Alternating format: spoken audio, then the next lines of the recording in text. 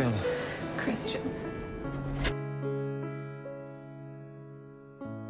I'm so tired of being here.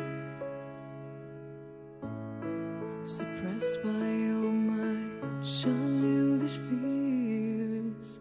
And if you have to leave, I wish that you would just leave. Your presence still lingers here.